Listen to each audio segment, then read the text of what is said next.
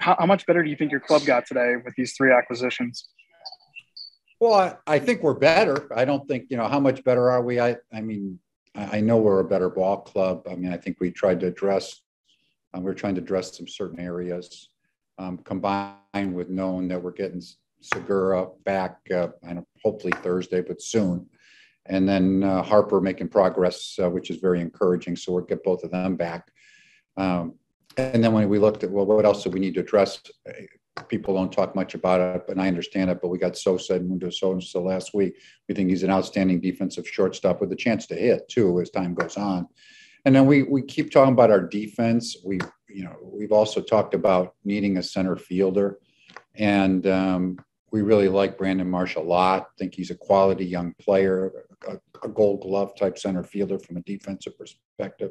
Still young and growing from an offensive perspective, but our uh, our hitting people think that he has some very correctable areas for them to work with. I have a great deal of faith in them.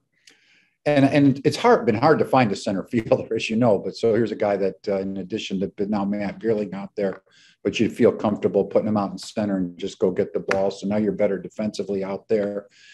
And then uh, we were looking at it, and, and I didn't know we were going to. I was starting to think we weren't going to get a starting pitcher. Um, it became very questionable with just the ask were very, very high. Um, and we really talked about stabilizing then the one part of our club, which has been very good, but even making it better with David Robertson, which we did. We like him a great deal, think he can pitch um, high leverage innings along with a lot of our other people.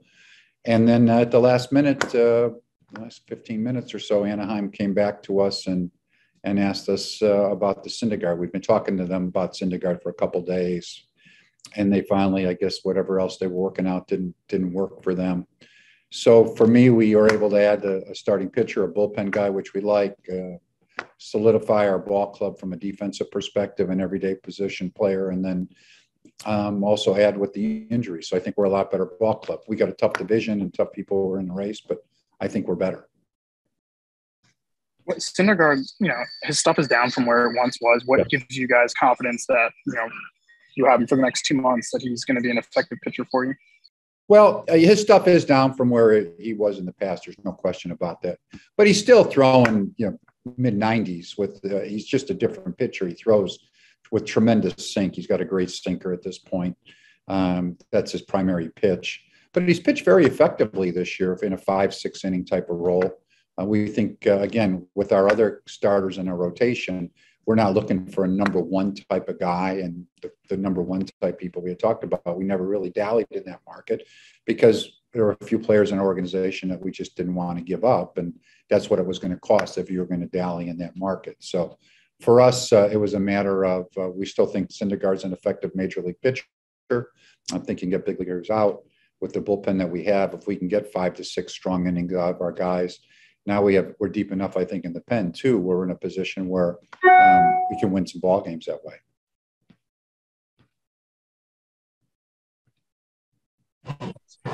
Dave, Logan O'Hoppe for for Brandon Marsh. Um, can you talk about, I guess, or explain a little bit about why you guys like Brandon Marsh so much? Obviously, you can play great defense, a lot of swing and miss though with the bat, and then the cost of giving up a you know a top 100 prospect uh, in Logan O'Hoppe for him. Sure, um, great question, and you know because we really are in a position where, um, of course, we gave up a couple of guys that we didn't really want to give up. Which, if you're trying to win, sometimes you have to do that. But in Logan's case, um, a few things. First of all, we love them. I think he's a very good prospect. Um, I think he has a chance to be an everyday, a good everyday major league catcher. Um, however, we also have a, an all-star catcher signed for three more years that's playing very well at a high level. We have some depth still behind him uh, in the organization. Um, and, and we've always said if we're going to trade Logan O'Hoppe, I have said, and we've talked about this, we want to trade him for a young positional player at another a spot that we can plug in and have that person there for years to come, not be part of a package for a veteran type of guy, because that's how highly regarded he is. Um, so in Marsh's acquisition, a few things. First of all, he has was, um, and he's going through that difficult growth time at the big league level, which is not easy. There's a lot of swing and miss, but we also have had our people look at him. Um, he's hit in the past. Um, our hitting people think that there's some fixes for him that are, are not very difficult. He's a very talented individual. Um, he is a premium defensive center fielder. We, we, we continue to talk about offense. Um, there were other center fielders that were might have been available, but they we didn't think they were as good at defensive players as him.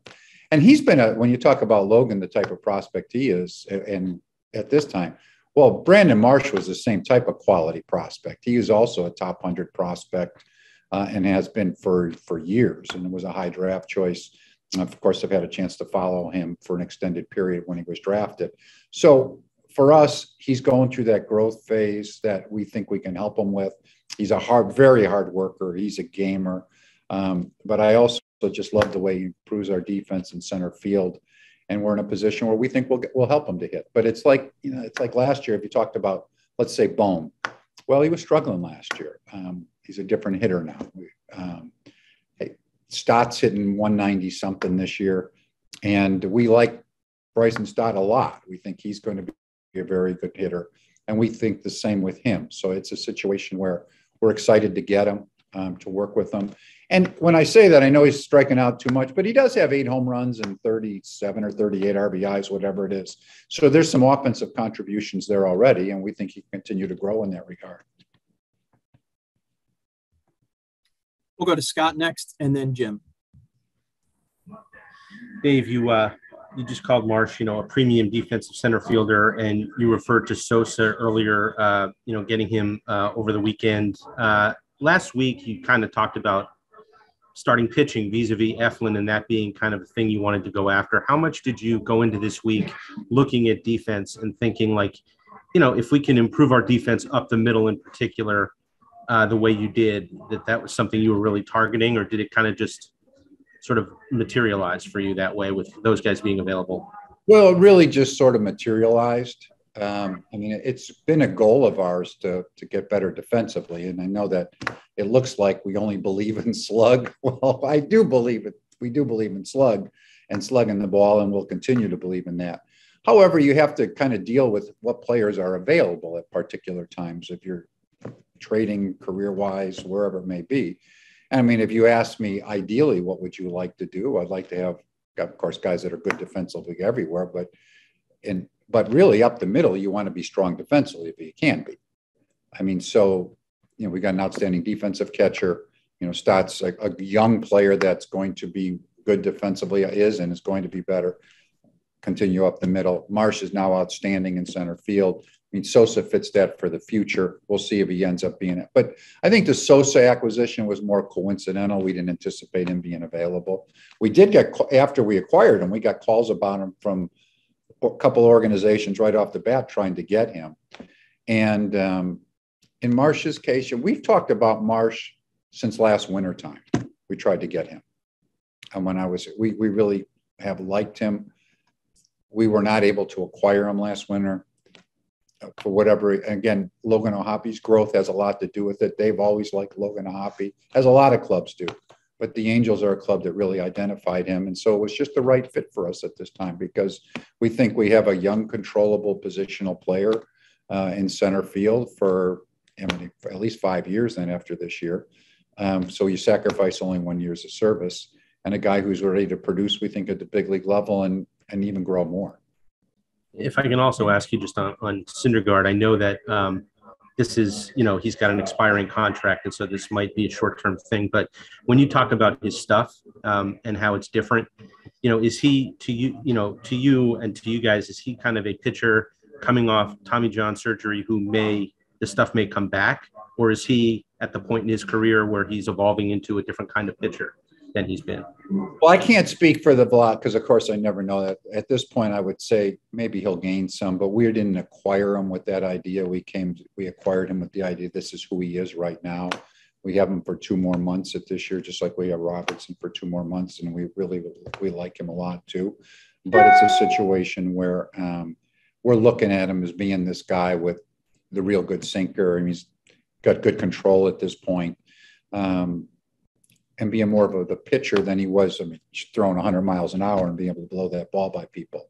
We didn't acquire him with that in mind. I mean, that's the type of guy was premium stuff. He still has good stuff, but it's not that same premium stuff. And and we're not looking for him to get that back. We're just thinking that this is the guy we're acquiring, the guy that that's throwing right now.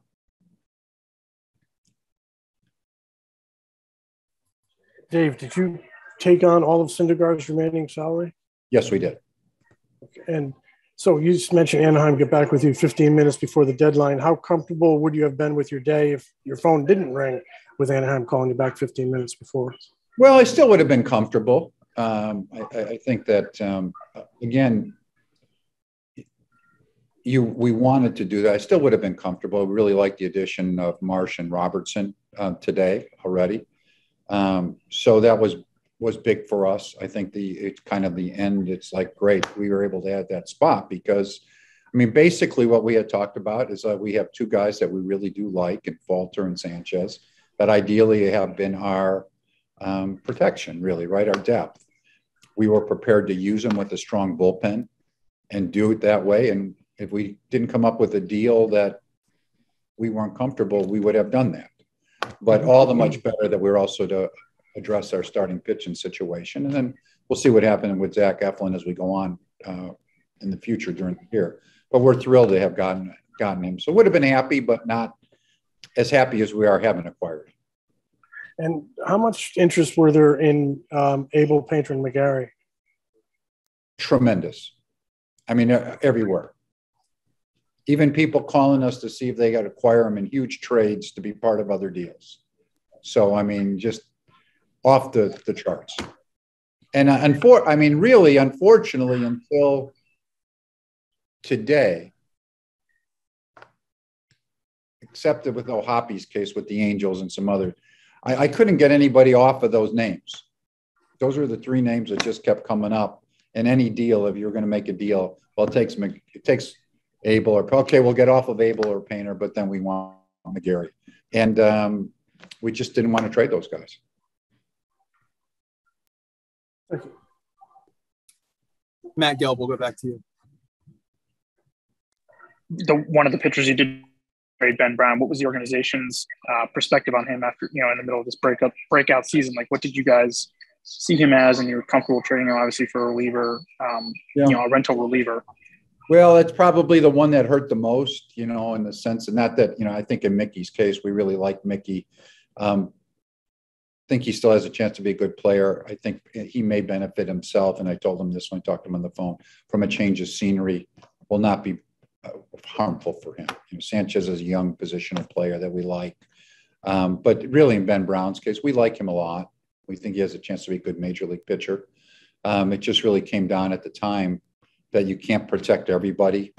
Um, and if we're going to try to get into the postseason and get a guy like David Robertson, who we think is as good a reliever that was out there, that um, there was a cost that was attached to that. And um, you use him from a kind of a combination, but he was just going to be moved to double A uh, in Brown's case. So we like him. We like him a lot. But fortunately, again, you never have enough pitching.